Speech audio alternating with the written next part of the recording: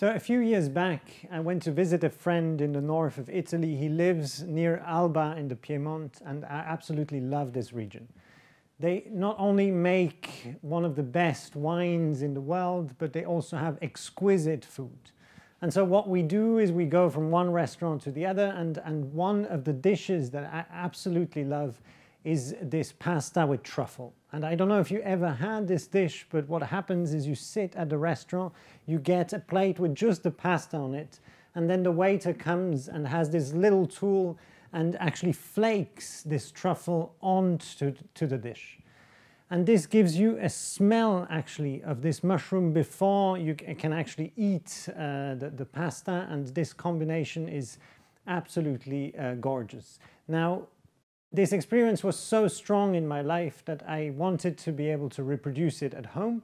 So I told my friend, let's go to the market and buy uh, these truffles. So we, we get to the village market where there were many stands that would sell them, but there were so many that I was a bit confused and overwhelmed. And on top of it, I didn't have the little tool to do this at home. So I actually found and on the same market a stand that sold this olive oil which actually contains the, the taste and smell of uh, the truffles. So I thought, great, I take this home. I then cooked for a few weeks at home and I was very happy until the chemist in me actually uh, told me I should understand how they extract the, the, the taste out of truffle and put it into the oil. And there I was shocked because actually most of these truffle oils are not made from truffle, they actually have petroleum extracts in them. And what shocked me is not so much that you can make petroleum smell or taste good. It's more the fact that you actually how deep these petroleum molecules went in our daily lives and also how ignorant we are of where they are to be found. So petroleum really has two faces. One is in the spotlight, that is the energy face. It, it, really, it's known by everyone. Everybody has used it once in their lives. You fill it in your car, you know how it smells and all this. And actually you know that it's linked to a CO2 footprint. And this is extremely important because I believe that it's this understanding of the customer that actually helped the decrease in utilization. So if you look at the projection of uh, the oil use in mobility, you see a major expected decrease uh, through uh, electrification of mobility and alternative fuels. Now, oil also has a more dark side, what I call the dark side of crude, which are these petrochemicals. Here we talk about plastics, we talk about synthetic clothing, we talk about uh, pharmaceutical inks, uh, paints, uh, things you put on your skin like cosmetics or perfumes. And these products, they also have the same um, footprint linked to them as the energy does, but people are not really aware of it. And actually this CO2 is also released in the atmosphere, either directly if you think of fertilizers or perfumes, or at the end of life, if you think of plastics and uh, synthetic garments that are mainly burnt uh, when they're not used anymore. So this petrochemical side or dark side of the crude might be the smaller fraction of the global oil usage, but the numbers are still astronomical.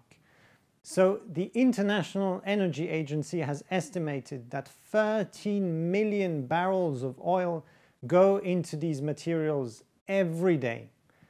If you convert this to uh, CO2, that corresponds to 4 million tons of CO2 that is potentially released every day into the atmosphere.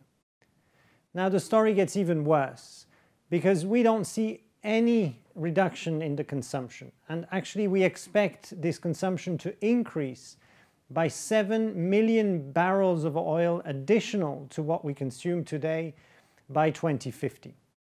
Now this 2050 is an interesting date because on the political side, this is the date where a lot of countries claim to reach carbon neutrality. Carbon neutrality is actually when a country is not emitting any CO2 anymore. Switzerland has clearly stated this in August last year, that this is the target. The European Union has a number of tools in place like the Green Deal that uh, are aiming towards this uh, 2050 target. And just last December, Ursula von der Leyen said that it's the man on the moon moment for Europe. Now, this is not only happening in politics, but also in the industry. Here I took two examples of big fragrance and flavor groups that have internal programs to completely remove the fossil carbons from their products. Now, we have a clear dilemma here.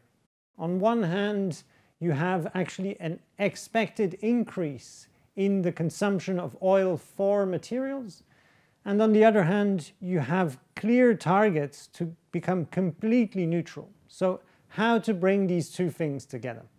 Well, the good news is science has a, a few uh, alternatives or a few options to do that. Let me guide you through them. So there are three main options that we can go for. The first one is what I call swipe it under the carpet. So basically, society continues to use oil, but we develop technologies that can capture the CO2 from the atmosphere and we literally pump it into the ground. I tried to do this with dust at my place. Well, I can tell you it didn't work for very long. Another option that would also be based on continuing consuming petroleum is uh, reborn from ashes, so meaning that you use the petroleum you capture again the CO2 from the atmosphere, but instead of putting it under your carpet, you actually upgrade it to similar molecules uh, that you had in the original petroleum. This would allow you to close the loop, but the problem there is you need a lot of energy, and the even bigger problem is that a lot of that technology is far from being developed enough to meet the timeline. And the third option is what I call plant a tree. This is actually completely moving away from petroleum and using biomass as a source for these materials. The benefit of using biomass is that trees are actually capturing CO2 by a so-called photosynthesis mechanism to build their own core. So if you use wood, you basically include in a larger circle that is already existing and that trees are using every day. Now the question is, how are you going to convert a tree into petroleum? Well, trees and petroleum have actually a common past. Most people think that petroleum is liquefied dinosaurs, which is not completely wrong, but as there are much more trees than dinosaurs, uh, oil or crude oil is most probably mainly made out of old trees. So a tree is made out of three main components. It's cellulose and hemicellulose fibers, and they are really glued together by uh, a so-called lignin polymer. Now, this material got trapped millions of years back into the ground and what happened is it really decomposed into the liquid, liquid we know as petroleum today.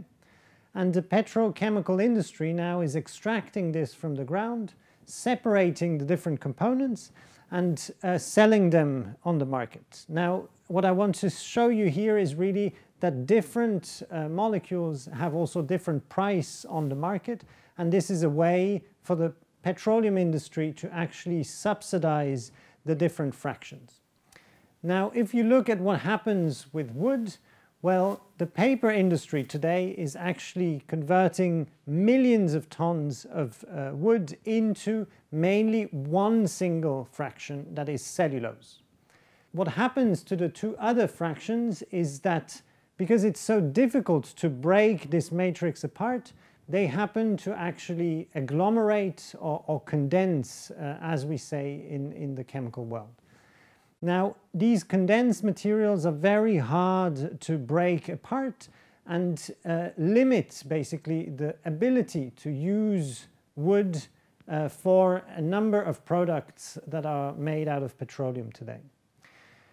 So the person that will manage to actually open up these uh, molecules or even better prevent these uh, condensation or agglomeration to happen will really open up the uh, possibilities or the abilities uh, of society to valorize wood. And I'm here today because my peers at EPFL together with my team uh, with whom I co-founded a startup actually exactly developed this. So we have a chemistry now that is able to prevent uh, the agglomeration of, of these materials and we can nicely extract petrosimilars from uh, wood. Now the path forward is really to implement this. So the science is here, the politics has really set the direction and the time frame and now we need the support of the economy to take action and also responsibility. And the purpose of this all is really to prevent um, the CO2 to be hidden everywhere, including in the truffle oil that you put on your pasta. Thank you for your attention.